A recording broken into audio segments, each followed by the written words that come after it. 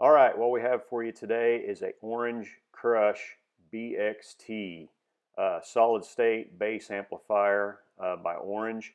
And the problem with this amp is it has absolutely zero output. Okay, here's a picture of the board of the uh, Crush 50 BXT 2009. And it had uh, zero output.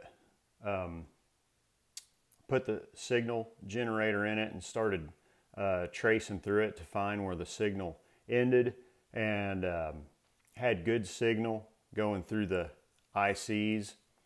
Um, I thought that this one might be bad, so I took an old one out of a, uh, an old stereo that I knew was working and replaced it, and it didn't do nothing for it. And uh, could trace the signal over here to the power amplifier. This is a LM3886 power amplifier. And I mean, I, I was getting uh, signal into this, but just could not get any output at all to the speakers.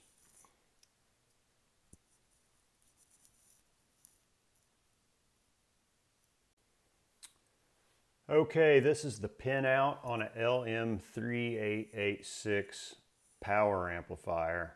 These are like a, a 20 to, uh, I think it's 63 watt uh, power amplifier. And you need to notice this right here. Pin 8 is for a mute switch. Here's the schematic uh, for the LM3886 amplifier. And on pin 8, that's the mute switch. You'll notice that there's a resistor in here. And I found on a forum that, because um, there's, there's not a mute switch on this amplifier. So in order for the mute switch to be off, there has to be resistance to ground in order for the mute switch to be off. If there's no resistance to ground or, or current, a certain amount of current draw, then the mute switch will be on.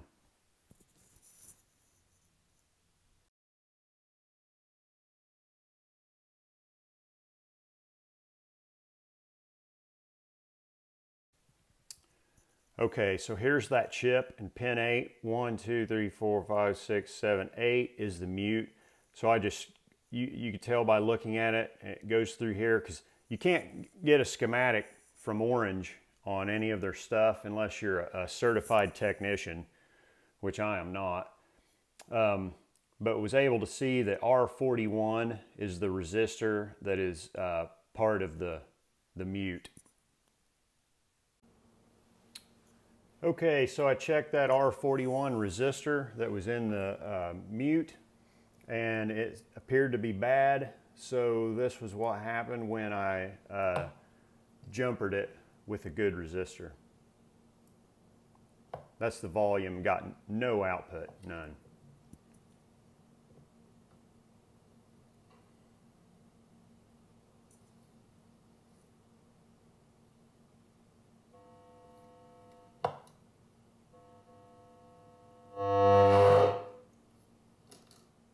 Fixed it.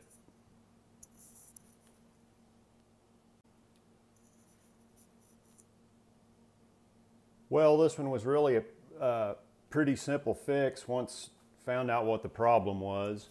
Uh, it's nice to fix one for about a dime, you know. So I hope that you have enjoyed the video and there will be more to come. Thanks.